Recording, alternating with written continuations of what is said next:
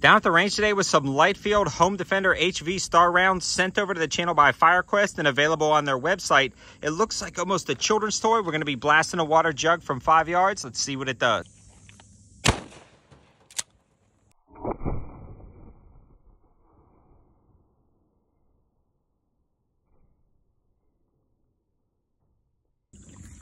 That hit with a lot more force than I thought it would. I can't tell if it's in there or not. Just dumping water. We're gonna pour everything out. So there goes some of the wadding material. And there it is.